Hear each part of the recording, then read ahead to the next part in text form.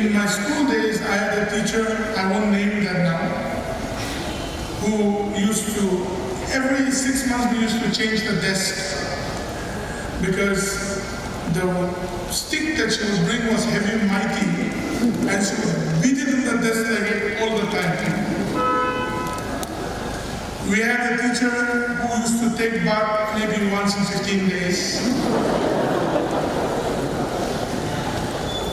Maybe even brush his teeth, we don't know.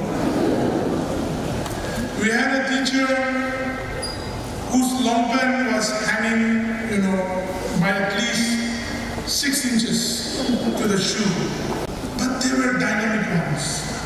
We had a teacher who was like a film actor, the hero of the means without his bullet. We had teachers who would take us into history, into the subject matter we were part of that history.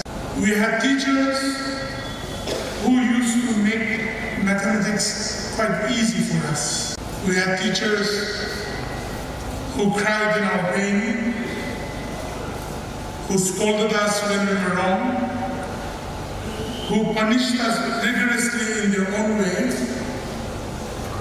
We had some teachers, if they come in, some students had to just go out.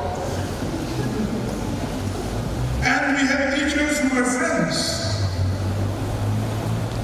And we had teachers with whom we kind of fought also. But all those things make us who we are.